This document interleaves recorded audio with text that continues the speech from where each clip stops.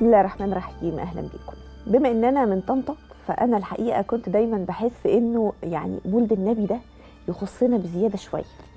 لأنه طول عمرنا وإحنا صغيرين كنا نلاقي في الأيام اللي, بتسبق المولد على طول كنا بنلاقي أتوبيسات سياحية جاية من القاهرة وإسكندرية ومن محافظات تانية كتير من من أنحاء الجمهورية.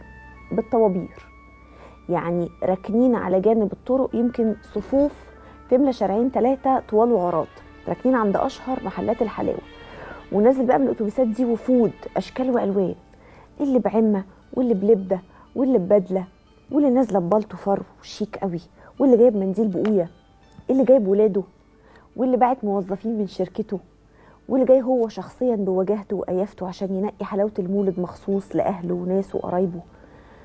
وساعتها بقى ما كانش فيه العلب الجاهزة اللي مش عارفة كل علبة بكام دي. إنما الناس كانوا يجوا يعملوا العلب على إيديهم ويشكلوها على مزاجهم وكانت يعني يعني شراء وفسحة بالنسبة لهم.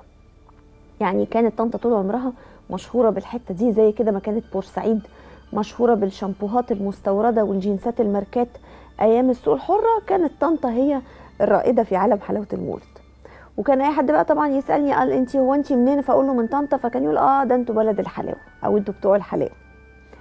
طبعا الدنيا دلوقتي يعني فتحت على بعضها وساحت وكله بقى بيشتغل في كله. إنما برضه هتفضل طنطا هي بلد الحلاوة. والحقيقة كلمة الحلاوة نفسها إحنا بنستخدمها بأكتر من دلالة في أكتر من موقف. يعني مرة نقول إيه الحلاوة دي؟ كنوع من أنواع المدح. ومرة نقول يا حلاوة كنوع من أنواع الاستنكار. وساعات نقول إيه يا حلاوة يا ولاد. كنوع من أنواع الدهشة والاستغراب. ومرات نطلقها على شوية سكر بليمون للاستخدامات النسائية. في كل الأحوال الحلاوة دي شيء أساسي في حياة المصريين سواء قولا أو فعلا أو اكلا أو شكلا.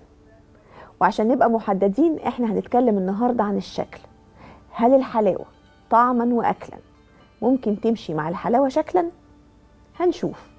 هنسأل دكتور ماجد زيتون استشاري التخلص من السمن. هل يا ترى ينفع نحط في الرجيم حتة حلاوة في الأسبوع اللي جاي ده ولا الدنيا ممكن تبوظ؟ ده موضوعنا النهارده. حضراتكم تقدروا تتصلوا بيه وتسألوه أي سؤال بس بعد فاصل قصير.